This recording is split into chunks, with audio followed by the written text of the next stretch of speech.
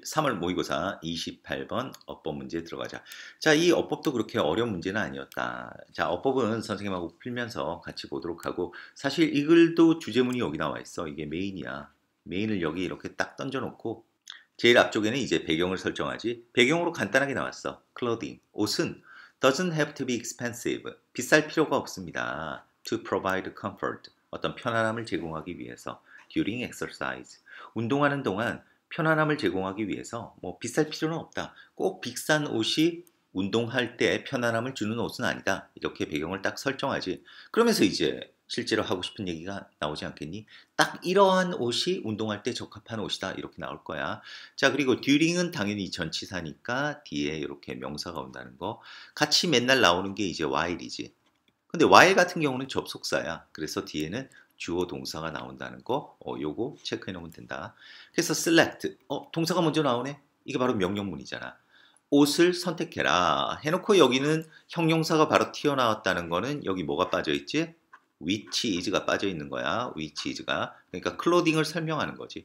근데 어떤 옷이냐? 적합한 옷을 선택해라. 어디에? 온도와 환경 상태에 적합한 옷을 선택하도록 해라. 그랬는데 여기서 이제 온도와 환경 상태 밑에 다시 관계사절이 붙은 거야. 근데 관계사절 which하고 in which의 차이점이 뭐야? which는 뒤에가 불완전. in which는 뭐로 바꿀 수 있지? 모든 전치사 플러스 관계대명사는 관계부사로 바꿀 수 있지. 여기서는 이제 where로 바꿀 수 있겠지. 이렇게 관계부사 뒤에는 완전. 그게 포인트지. 그래서 뒤에 보니까 you will be doing exercise. 너가 운동하고 있, 있을 것이다. 이거 완벽하네. 그래서 답은 이니치가 되는 거야. 해석은 이거지. 네가 운동을 하고 있을 그러한 온도와 어, 환경적인 상태에 적합한 옷을 선택해라.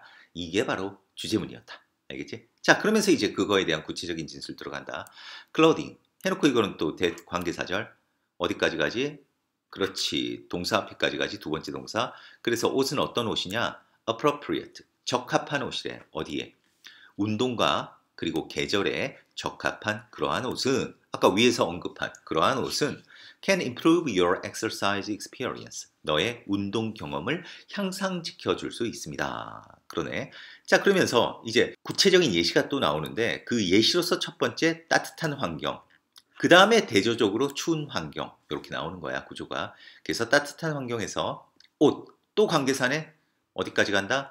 여기까지. 그러면 동사는 어떻게 되지? 바로 is 또는 are인데 주어가 뭐야? clothes. 여기 s 붙었지. 그러니까 복수니까 are이 된다는 거. 그래서 옷이야. 어떤 옷이야? have a wicking capacity. wicking 하면 여기 밑에 나와 있지. 그 수분을 흡수하거나 배출한다는 거. 그래서 수분을 흡수하고 배출하는 능력을 가진 그러한 옷은 are helpful. 도움이 됩니다. 뭐 하는데? dissipating. 열을 발산시키는데 그 몸으로부터 dissipating. 열을 발산시키는 데 있어서 도움이 됩니다. 따뜻한 환경에서는 그렇다는 거야. 그 다음에 이제 대조적으로 추운 환경이 나오게 대조적으로 it is best. 그것이 최고입니다. 해놓고 가지고 좋았다. 뭐가 최고냐? face cold environments. 추운 환경과 직면하는 것.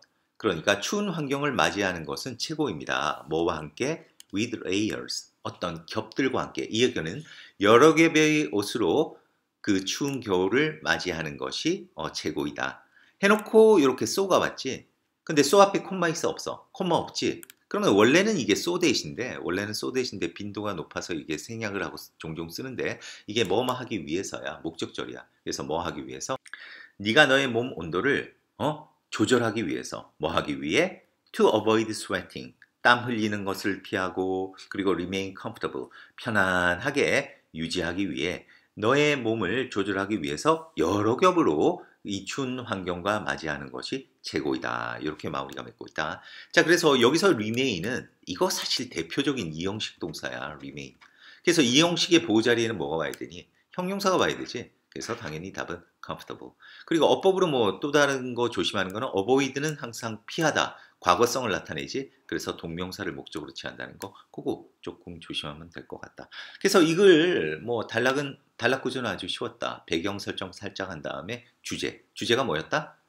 온도와 환경에 맞는 어? 온도와 환경 상태에 적합한 그러한 옷을 선택해라. 자, 뭐 할 때? 운동할 때. 어? 그러면 이제 운동할 때 좋다 이 얘기인데 자 그 좋은 얘기로서 구체적으로 나온 게 이렇게 따뜻한 환경에서는 이런 점이 좋고 그리고 in contrast 추운 환경에서는 이렇게 하기 위해서 좋다 이런 식으로 마무리되어 있다는 거 알겠지?